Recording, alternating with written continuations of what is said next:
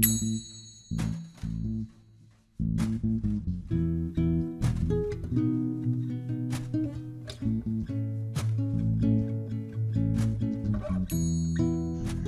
everyone and welcome to the Army Innovator. Today I'm going to do another screencast based off of a pest analysis of my business idea, Martin Family Craft Woodwork. Last time I familiarized you guys with my business idea. It's a local small garage startup business uh, doing custom woodwork. The political factors um, for this shop would be it is an election year. So if I set up the business, it would be competing parties during the election year. An opportunity with that is I could make patriotic products um, that could attract customers from both parties. However, there is the threat, as of as with everything that's political, that I could be viewed negatively based off of my own personal politics. Another political factor is that the county that I live in, Alamance, is a business friendly county. The taxes are low. Um, the opportunity there is I could use the low tax rate to grow my business and give me an advantage.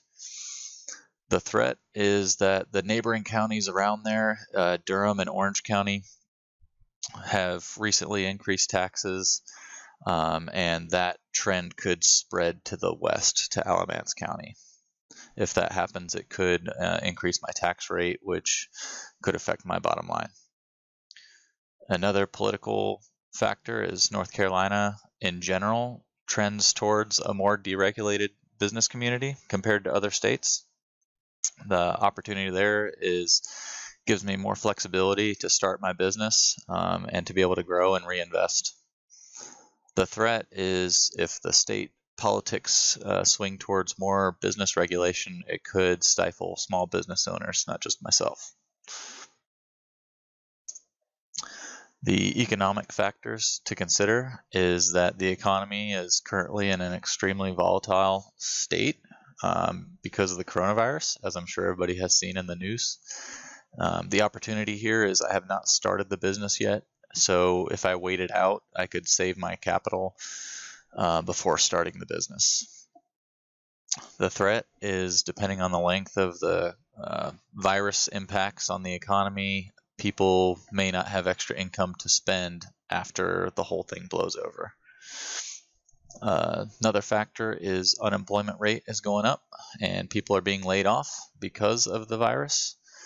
Um, the opportunity there is once this uh, thing kind of blows over and people get back to work, uh, there may be the opportunity to get labor cheaper in the short term.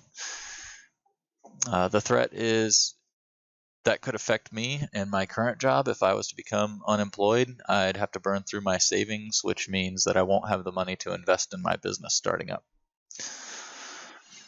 The factor another factor of the economy is um, globally the economy is in a downturn uh, the opportunity here is, again, I could take the time to refine my business idea, um, and it could affect competitors who are currently in the market before I come into the market. The threat there is it could make it hard for me to get started if uh, there's shortages in uh, machines, equipment, material, etc.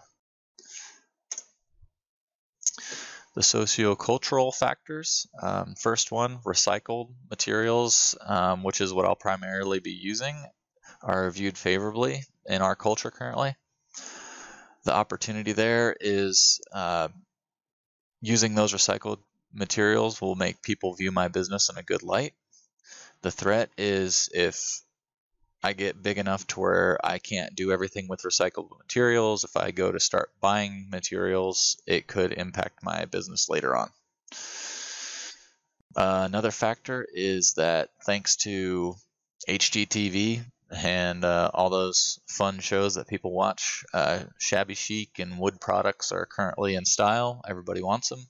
The opportunity is entering the market with these kinds of products. Um, could boost sales initially and help me get started.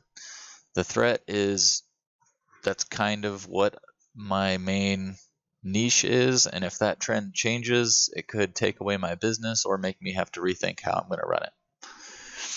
The factor number three is uh, Americans currently they value custom products, they feel like they're higher in quality, things like that. The opportunity is that me doing custom woodworking jobs uh, could give me a solid customer base right off the bat. The threat here is if uh, for some reason I have a bad run of quality or uh, can't fulfill orders and things like that, uh, customers could view me as a not so good product. The technological factors are that CNC machines are currently very affordable compared to where they have been in the past. The opportunity here is that I currently have uh, plenty of savings to buy new machines and to get parts if they break. The threat is that my competitors also will enjoy that the machines have become lower in cost.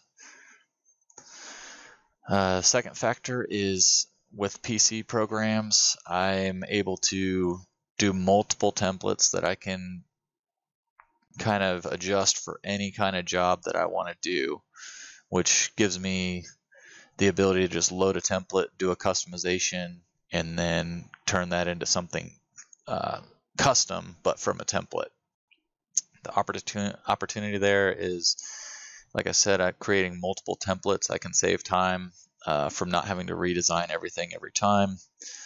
The threat is that if my templates are easily recognized, uh, if I use the same template but don't do enough custom to each piece and multiple customers get something they don't feel is unique or custom, it could uh, downplay the whole foundation of the business idea. So that is the pest analysis for my woodworking business idea. And here is my summary slide, and I'll leave it playing just as I did the last time so that you guys could review it if you want to. Thanks for listening.